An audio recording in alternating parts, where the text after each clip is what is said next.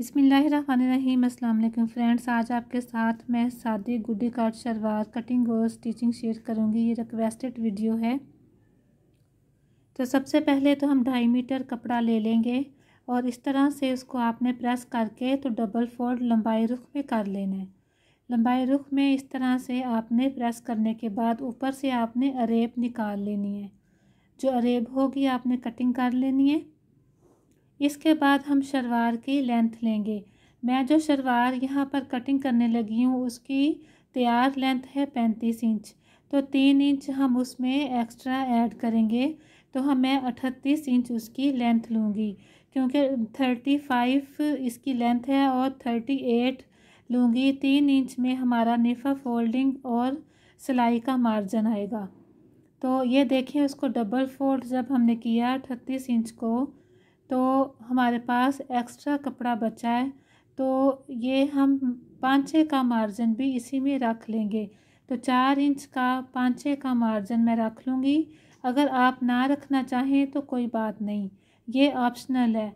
इसके बाद जो चार इंच का निशान लगाया था, यहाँ से हम कटिंग कर लेंगे एक्स्ट्रा फैब्रिक को। ठीक है, पैंतीस इंच शलवार थी, आपकी जो भी लेंथ होगी, आपने तीन इंच उसमें ज़्यादा करना है। अब ये देखें डबल फोल्ड करने के बाद ये जो दो इंच का हमने पाँचे का मार्जिन रखा था ज़्यादा, इसको आपने ऊपर की तरफ़ इस तरह से फोल्ड करके प्रेस कर देना है, क्योंकि ये एक्स्ट्रा मार्जिन था और ये वाला हमने फालतू कपड़ा रखा था, दो दो इंच ठीक है, चार इंच जो रखा था, दो दो इंच दोनों तरफ़ आ गया इस तरह से आपने इसको प्रेस कर लेना है। अब ये बाकी हमारे पास शलवार की लेंथ आ जाएगी थर्टी एट इंच ठीक है? तैयार लेंथ थर्टी फाइव इंच होगी और तीन इंच हमारा नेफा और सिलाई का मार्जिन है।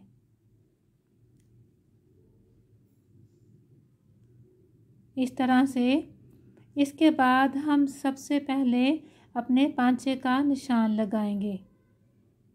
अब ये देखें शलवार का जो घेर है, इस शलवार का वो अठारह इंच है। ये एक बच्ची की शलवार है और स्लिम सी बच्ची की तो इस वजह से इस शलवार का घेर इतना मेरे लिए काफ़ी है। तो आपने इससे ज़्यादा घेर जब बनाना है तो आप यहाँ पर जोड़ भी डाल सकती हैं म्यानी में। आप अपने साइज़ के हिसाब से इसका घेर रखेंगी। अब यहाँ से पाँचे का आपने सबसे पहले निशान लगाना है। तो मैंने सात इंच का निशान लगाया पाँचे का।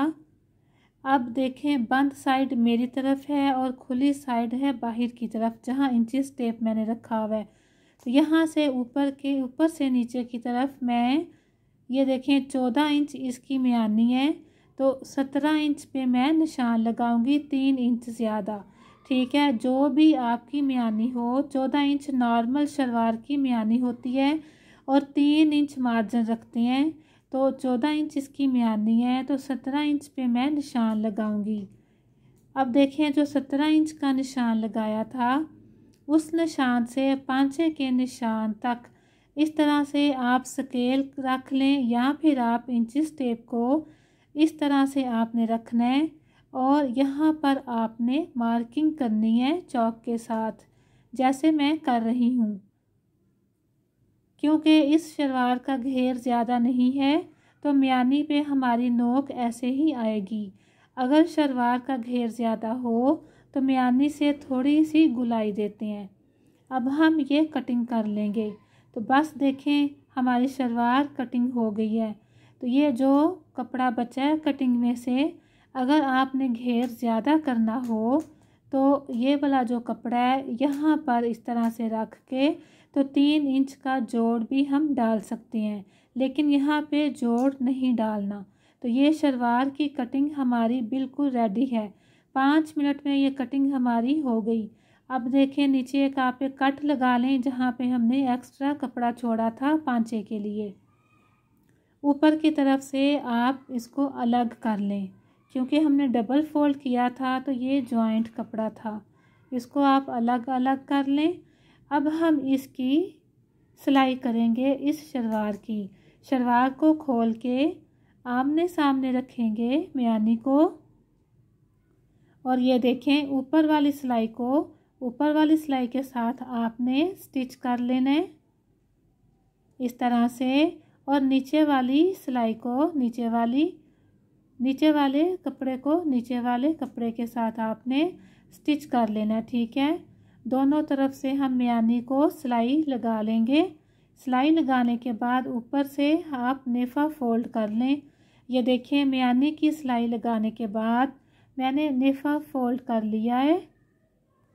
नेफा फोल्ड करते वक्त आपने इलास्टिक के लिए थोड़ा सा मार्जिन रखना होता है। अब ये देखें, जो कपड़ा हमने एक्स्ट्रा छोड़ा था, ऊपर की तरफ़ फोल्ड किया था। जब हम इसको नीचे की तरफ़ सिंगल करेंगे, इसकी शेप कुछ इस तरह से होगी। तो आप इसको अच्छे से प्रेस कर लें और जो हमने कट लगाया था, दोनों तरफ़ इस कट के बराबर पे हम अपनी इस बुकरम का पीस रखेंगे। एक इंच का मैंने चौड़ा ये वाला कैनवस पेपर लिया है और इस तरह से चमक वाली साइड नीचे की तरफ़ रखेंगे और अच्छी तरह से प्रेस करने के बाद फिर इस कपड़े को ऊपर की तरफ़ आप फोल्ड करें। ठीक है? इस तरह से फोल्ड करने के बाद आपने इस चेपी के बराबर थोड़ा सा फोल्ड करना है ताकि जो कैनवस पेपर है ये नज़र ना आए। देखिए इस तरह से थोड़ा थोड़ा सा फोल्ड करना है और इसको अच्छी तरह से आपने प्रेस कर लेना है। बहुत आसान कटिंग है इसकी और बहुत ही आसान इसकी सिलाई है। अब आपने ऊपर की तरफ़ एक सिलाई लगा लेनी है किनारे पे और नीचे की तरफ़ पांचे के एक सिलाई लगा लेनी है किनारे पे।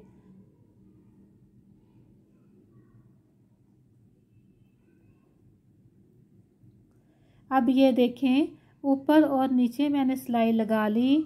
अब एक्स्ट्रा जो बुकरम है, इसको हम कटिंग कर देंगे, ठीक है? कटिंग करने के बाद फिर हम अपनी शलवार की अंदर की सिलाई लगा लेंगे, ठीक है? ये देखें, मोहरे की हम इस तरह से सिलाई लगाएँगे। अगर ये सिलाई आपको मुश्किल लगती है लगाने के लिए तो आपने क्या करना है, पाँचे को मैयर करें। आपने जितनी सिलाई लगानी है आप वहाँ पे निशान लगाएँ और फिर आप यहाँ पर म्यानी पे एक निशान लगाएँ सिलाई के मार्जिन पर। यहाँ पर आप इंची स्टेप रखें म्यानी पे और आप पांचे के पास नीचे तक ले जाएँ उस निशान पे और इस तरह से आप एक लाइन ड्रा कर लें दोनों पाँचों पे, ठीक है? तो इस तरह से आपकी सिलाई बिल्कुल सीधी लगेगी और आपकी सिलाई टेढ़ी नहीं होगी। और आपकी शलवार की शेप बहुत अच्छी आएगी। तो या तो आप स्केल के साथ ये लाइन ड्रा कर लें, या आप इंची स्टेप के साथ ही इस तरह से दोनों पाँचों पे ये लाइन ड्रा करके सिलाई लगा लें। अब देखें, मैंने अंदर की सिलाई लगाने के बाद अच्छी तरह से इसको प्रेस कर लिया है और अभी इसमें अलास्टिक नहीं डाला। तो ये शलवार हमारी रेडी हो गई है। बहुत अच्छी इसकी शेप आई है। मुझे उम्मीद है कि आज की वीडियो से आपको गुड्डी काट शलवार की कटिंग और स्टिचिंग आ जाएगी। अगर आपको किसी किस्म का आप में कोई है कि समझ नहीं आई किसी भी चीज़ की तो आप पूछ सकती हैं।